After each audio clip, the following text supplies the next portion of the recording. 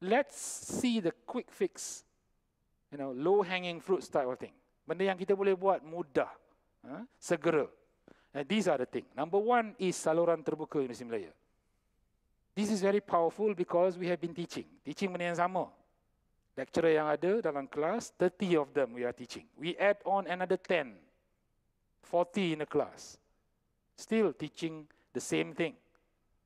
Maybe marking a little bit extra, but it is what we are good at.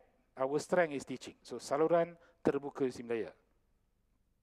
Secondly is the online distance learning, the ODL. We are working on it because we have capacity limitation in the campus. We can only house maximum maybe around 30,000 students. Beyond that, we probably have issues with classrooms, issues with accommodation, issues with cafeteria and facilities.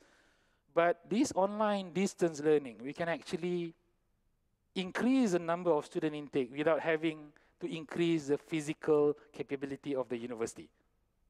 So this is very powerful. A company in Indonesia organizing online distance learning have got 700,000 students registered. If we can get 1% out of that, which is 7,000, it will be more than enough for us. This is the power of online distance learning. And we have also remote learning. Kita ada PJJ, remember? Remote learning. Many years ago, we are not interested because we have enough money to spend. But now we need to look at all this.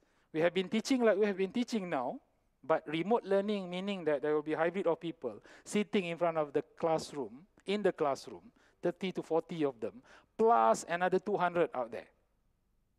So this is a remote learning process. They will study just like the others are studying with us, interacting with them, hybrid and virtual in a way. And we want to increase this number because they won't be in our campus. They will be somewhere out there, either locals or international students. Fourthly is the micro credentials. We have been talking about these micro-credentials, meaning that you can actually take a particular course or you know fraction of the course, and then you can actually stack it later on, and it becomes a degree program, for example.